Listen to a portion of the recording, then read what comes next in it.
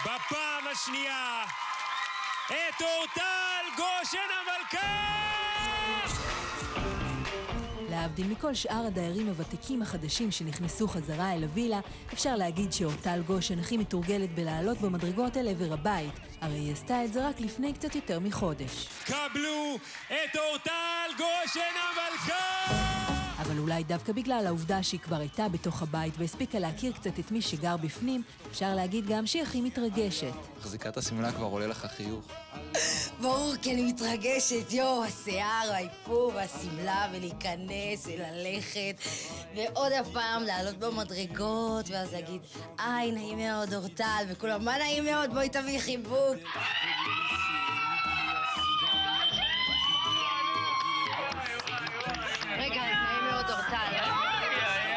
יומיים לפני שהיא חזרה לבית האח, היא נסגרה שוב במלונית של נווה אילן, מנסה שוב לסגור את המזוודה, שלכו תדעו אם בכלל הספיקה לפרוק מהעזיבה החפוזה. היציאה שלה מהבית הייתה כל כך מהירה ופתאומית, שהיא אפילו לא הספיקה לתרגל איך מתראיינים לתקשורת. אתה רוצה שנחזיק? לא. אה, אתה מחזיק? אורטל עזבה את הבית לאחר חמישה ימים בלבד. תחשוב שאפילו לא הייתי במשימה. לא, לא הדחתי, כאילו, לא הרגשתי עדיין. את מחכה להדחה הראשונה? לא להדחה, אבל אני כאילו מחכה כזה, אתה יודע, לראות, להרגיש, לדעת. טוב, כולם יודעים למה יצאתי מהבית. ספר את זה. הבדיקות השגרתיות שערכו לה, כמו לכל דייר שנכנס לבית, מצאו אצלה גידול סרטני. זה משהו ש... שנייה, קשה לי רגע. בהתחלה לא הבנתי בכלל, כאילו, מה זה הדבר הזה. כל הגידול, כאילו, ילדה בת 22, מה, מה קשור? עכשיו השתחררתי, לפני האח הגדול עבדתי, אמרתי אני אטוס, כאילו, אתה לא חושב על הדברים האלו.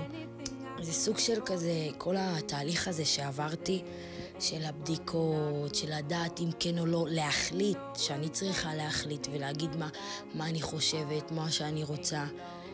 זה, זה ביגר אותי ונתן לי לחשוב עוד כמה שלבים קדימה, וכאילו אני שמחה שזה קרה לי. ואם אני אכנס אולי באורטל יותר שונה, אז אולי יותר בוגרת, אולי יותר מבינה, לא מתקטננת על שטויות, כאילו... די, נהיה לך חשוב איזה שמלה תלבשי כל פעם שעולים ל... או, מה זה זה? אם לחלק מהדיירים שנכנסו עכשיו יש את השאיפה לצבור עוד כמה דקות של תהילה וגם להגדיל את חשבון הבנק במיליון שקלים, אורטל מסתפקת בהרבה פחות. מבחינתה, היא כבר ניצחה. ניצחתי, כי אין בריאות, זה הכי חשוב, אולי בהתחלה, כאילו לפני שקרה לי כל הדבר הזה.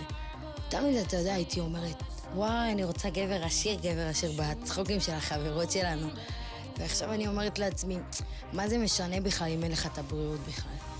בריאות וגם שיגיע עם גבר עשיר. ברור שבריאות זה דבר ראשון, ואם הוא רוצה להגיע גבר עשיר, אז בכלל נלך על כל הקופה, כמו שאני אומרת. אל תדאג, אורטל מה שהיא רוצה היא מקבלת, זה מה שבטוח.